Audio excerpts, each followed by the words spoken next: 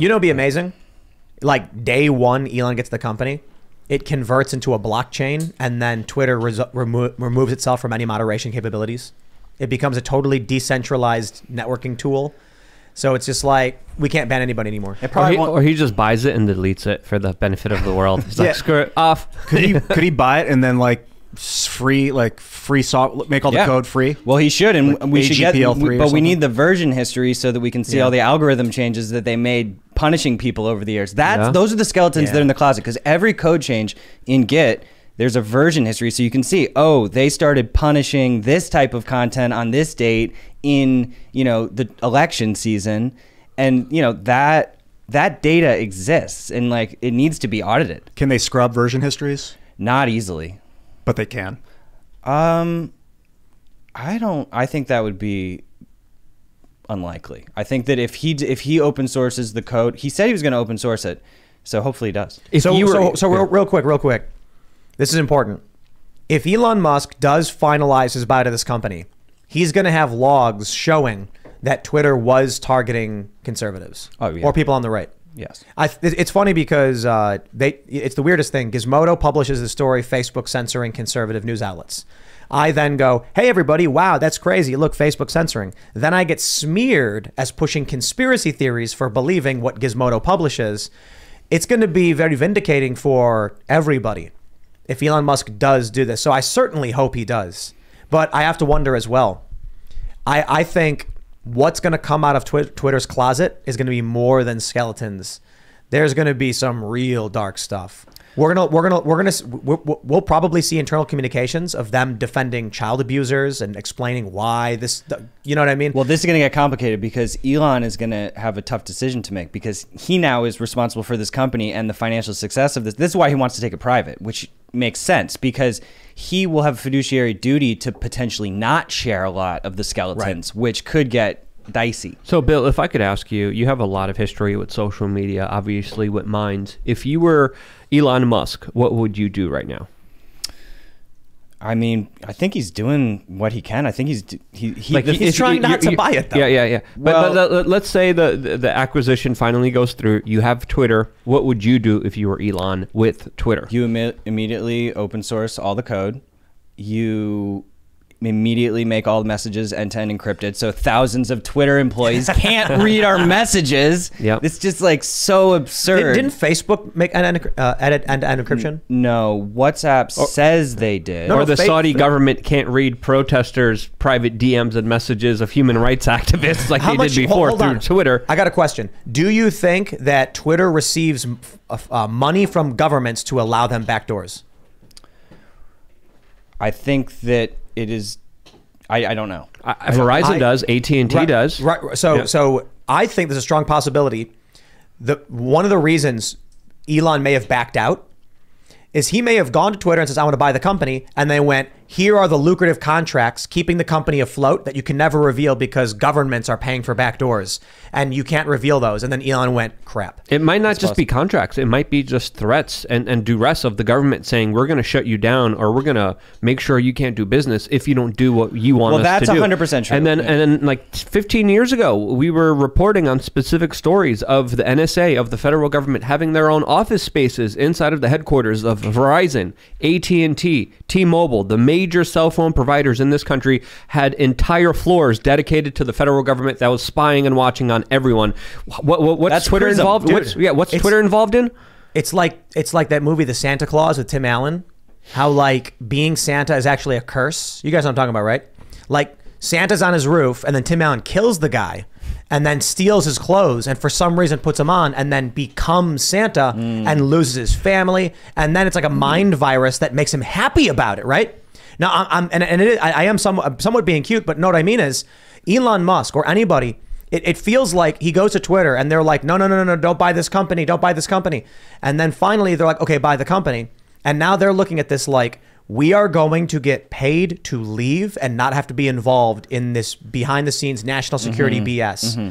I I would bet I if if if here's here's the way I'll, I'll play it. If I went to a casino and I saw blackjack, roulette, and do you think the nat that the, the U.S. government has national security letters sent to Twitter demanding backdoors? I would put all my money on that. I'm not playing another game because that's a sure shot. Elon Musk comes in, asks them like, "Okay, show me corporate documents," and he's got an NDA, and not only that, but a national security letter with a gag order from the government, and he went, "Crap," mm-hmm. and they're like, "You can't say anything about it. You have to buy it, and if and when you do buy it." You won't be able to do anything you want to do because they will force you to give them the back doors. And we already saw the White House going to Facebook and saying ban these people. There is a zero percent chance they they did not do that with Twitter. But it- and Elon probably saw that. Yeah, it's not just a backdoor to the information. I think it's even more than that. I think it's deciding who gets censored, deciding which voices get downranked in the algorithm. I think the federal government is way more involved, uh, not just with, of course, the intelligence agencies helping give a lot of these big tech social media companies their start, but but what do you think of this running your own social media network? What's the possibility of what me and Tim are talking about? Yeah, very likely. I mean, well, we saw the Alex Berenson, all this these discovery documents came out recently between Twitter and the White House, where Alex Berenson got banned from Twitter and sued them. Exactly. It's the Slack conversation of the Twitter employees saying, "Oh, you know, I forget the guy's name at the White House said, why is Alex Berenson still on the platform?" So to amend my earlier statement, when I said there's a zero percent chance, no, actually the evidence already been released by Alex Berenson. Yeah, yeah. and then that- the, the, the, the, the thing I was pointing to is when they were talking about Instagram, I think, when the White House was like, hey, this one's not ours. Can you do something about it? And it was the Anthony Fauci parody. So we know the government, they're doing the wink, wink, nudge, nudge. Yeah. And I think worse Yes. than that, obviously. But I'm, I'm, I'm wondering if, say, the Saudis, they go to Twitter and say, how much will it cost to get access to your to your back end to your to, to get back doors? Twitter needs money. I think it's possible for Elon to switch past, but he's going to have to start playing hardball with major countries and risking Twitter getting banned in those countries if he doesn't play ball. You know, it's it's a marketing dream for com- you know SpaceX and Tesla to have Twitter as a you know marketing engine for those companies. So you know, it makes a lot of sense for Elon to It's be. a it's a question of, in order to do this, Elon has to get banks to back it. Money has to come from somewhere, and no one is willing to pay full the full price to take the platform and then just convert it into a blockchain, open source, decentralized network. If that were to happen, you can't ban anybody ever again. Yeah. They they can coexist though. Like you can have a centralized infrastructure and a decentralized infrastructure running in parallel. We actually just integrated with a, a new network called Nostr, which stands for Notes and Other Stuff Transmitted by Relay. It is a there's relays all over the world. Everybody has a crypto key pair that we don't have access to as Minds. That's your identity. You can bring your followers and your content and log into other apps. You can leave you can leave us. It's not a blockchain, but it's a distributed system.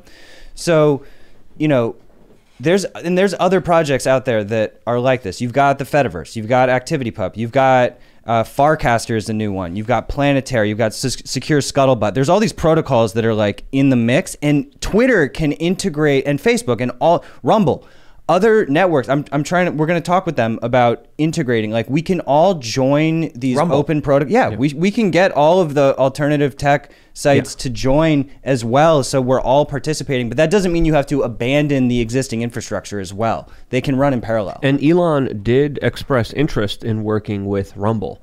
Uh, so I think that also is, is giving a lot of people optimism. But but as we're talking about here, Twitter is a major powerhouse. Twitter is is a vector of influence that a lot of powerful governments need and want in their fingertips. And it would be foolish to think that their fingertips and fingers and hands aren't already in this larger influence uh, that that Twitter and big tech social media has. Just uh, in 2019, there was an ex-Twitter employee that was found guilty for spying for the Saudi government, specifically going through private messages, going after dissidents of the Saudi empire, and sharing that information directly with Mohammed bin Salman. Hmm. So, so again, that's just one example. twitter's revenue model is com- twitter's addicted to surveillance advertising just like facebook. And hmm. so elon needs to rip that out.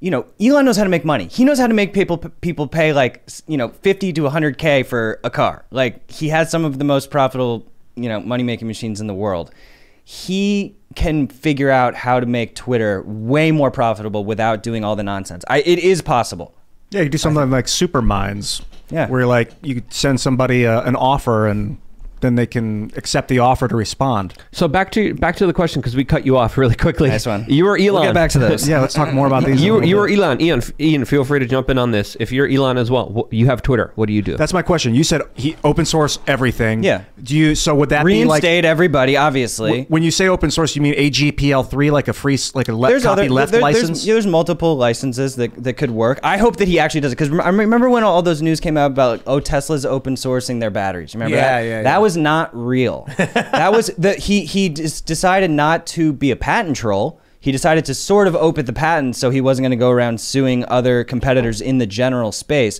But like the code of you know the software running on Teslas, the battery blueprints, none of that is is open source. yeah. So the, the difference between a lot of the cars is just the software yeah. that you're paying for. That's not open source. Yeah, Sorry, the, the same software that is running the AI on, on the new um, you know Tesla bots is the same is, the, is what's running in the car. It's the same system. I got an idea. So we're talking to this uh, this uh, fabricator, metal fabricator guy, about building a one of a kind, unique electric car. We should do it with Minds. It should be powered by Minds. Mm. So like your your digital console is like a Minds console. Oh yeah, because you need an operating system Right. and, and an app within yeah. the so let's the do it. Ooh, Like, we- yeah. So uh, we can do it really. We uh, we were talking. We can make like a really cheap electric car. And I was like, as a gag, we have like a 2006 Cobalt with 230,000 miles on it. And I was like, yeah, let, us do that and not fix anything and be like, boom, one of a kind. Uh, or we could actually make a really cool car, like Yeah. actually works and everything. We should have it like integrate with Minds. Let's do it. I, I saw some. There's some, some amazing like refurbishing companies that can take like any car and just make an electric car. Like there's this Yeah. one uh, page on uh, I forget. It's it's they take Volkswagen specifically and they'll make it any Volkswagen electric from any period of time. I- I'm gonna make the Flintstone car and beat all of you guys, including Tesla, when the EMP goes off and nuclear Armageddon happens. but will you run No, barefoot? no, no. no. Like the funny thing with the Flintstones car is like pedals exist. We've discovered that quite a bit, uh, quite a long time ago. yeah, but it doesn't look as funny in the cartoons when you're pedaling with your You ever, feet you on ever, the floor. you ever see those cars where there's there's two sets of pedals in the front and the back, and everyone in the car is pedaling and it's going? There you go, man. That's Hey, what we're gonna do. when you, oh, what were you gonna say? I was just gonna say that I did ask. Uh, we we sent a message to Elon asking him this question. I don't know if if he'll answer it, but there needs to be a Tesla that is not subject to just getting shut down from Tesla HQ, like Right, you're yeah. talking about. Like like I could see him getting behind that, like a Tesla that's sovereign and like the software is running locally, so that it's just not like sketchy dystopian possibility. but do you you know that um, I'm not sure, Luke, if you know this. Some of them have cameras Mm-hmm. pointing at you, the driver, and if you aren't paying attention or something, it alerts you and it records that. It uses it against you. That is nightmarish. Mm. it has that history too. Yeah. Yeah, because I because uh, I I saw in the console of the Model S there's a camera, and I was like, "Is that?" I, I googled it. I'm like, "Is uh, that's cool?" Like because you know Uber drivers, for instance, they turn cameras on to film their passengers, and I'm like, that could be helpful if there's a car accident, if you're sideswept or something. You have no access to that camera. It is for them to spy on you as you drive. Mm. Creepy. So there's no obviously you can't log into your Tesla account and check out. Yeah, like what data is in Maybe I'm wrong. account? Maybe I'm wrong. Maybe I'm wrong. I don't know. I doubt that they give you access to all the the footage of. But you think- No, yourself. no, no, no. So the side cameras you can like. Oh, yeah? So I can pull up my phone right now and look at my car in the garage, the Model 3 Yeah. And, and Oh, you, nice. yeah, that's really cool. like, but there's an internal camera, and I'm like, what is that all Yeah, about? the CIA has access to all of it live as it's going on, uh, most likely, uh, Yep. w- without a, without a doubt. the NSA. Yeah, i i there's no way that they don't. So you know, I, if, I, I- you know, I would automatically tape up that camera as fast as I can. Uh, but I heard some car manufacturers take away your ability to do self-driving if you cover up that camera because the cameras are focused on your eyes to make sure that your eyes are focused on the road. And if your eyes and hands aren't focused on on the road and the wheel, they stop automatic driving and make you drive instead of having the car drive you. You guys know that basically like all new cars are self-driving. So Tesla has full self-driving capability only after your car has driven on the highway on autopilot for 100 miles. You have a high safety score and they approve you. So my Model 3 apparently just got recently like congratulations, it's now entitled to full self-driving and that's where the car will actually stop at the stop sign, check and then slowly turn right and the steering wheel is spinning by itself. But most of them when people think of like, oh, the Teslas can drive themselves, and then you get in the Tesla for the first time and you're like autopilot, and you're like, wow, all it does is just the steering wheel moves a little bit left and right on the highway. That's it. It'll speed up, slow down. And then I, so when I first saw that, when I got the Model 3, I was like, whoa, this is crazy. I'm like, I'm on the highway and like it's moving itself. Then I got a, then I got a Honda. It's got the same thing. Hon- modern Honda has the exact Hmm. same thing. No difference. It's, it's uh, auto steer and cruise control. So I'm on the highway and I'm like, oh, That's what they call it, auto steer. it's called something like lane correction or something like that. I don't know. But it's the it's it so the Honda can't activate a full self drive like the Tesla can, but Teslas don't come with that anyway. You have to earn a special pilot, you know, a beta or something. Could Honda run a self-driving upgrade Probably. remotely? I have to imagine if they can drive themselves on the highway, they can mm-hmm. drive themselves in, in, in the streets. So I don't know. I think the Teslas don't use sonar anymore or radar or something like that. And it switched to just camera. And I noticed this because I think when they switched it, it got way worse. It like doesn't understand what's going on anymore. And I, I wonder why. Maybe statistically the radar or sonar, whatever it was, was worse. And now like cameras are better. But then if you get like schmutz on the on the camera or something, then it just turns off on you. I was driving in the rain and I have it on on self drive autopilot on the highway, and it's and I'm going 70 miles an hour and it's making a turn, and then we get close to a semi and it goes boom boom and just turns off, and I'm like, what the? Like that's scary. Mm. You keep your hands on the wheel the, the whole time, but when so you're going with it when it stops, just like whoa. This You self driving just it, it sounds tragedy waiting to happen, man. That people they encourage you to take your hands off the wheel. How is that going to make you more attentive no, to no, the No, road? no, no, no. You they can't don't. do that. Oh, they If okay. you You have to have. so your they hand want on you to be sitting there like a zombie, but still somehow be more like you're going to become less attentive to what's going on if you're not actually Absolutely. supposed to be attending to it. How can that be good? Thanks for checking out this segment from the Timcast IRL podcast. But if you want to check out the full show live, tune in Monday through Friday at 8 p.m. And if you want more special access content, head over to timcast.com and become a member. Your membership helps sustain this company, keep our journalists employed, makes this show happen, and you will get access to exclusive members only segments of the Timcast IRL podcast. And there's a massive library to check out. So again, go to timcast.com or tune in Monday through Friday at 8 p.m. and we'll see you all there.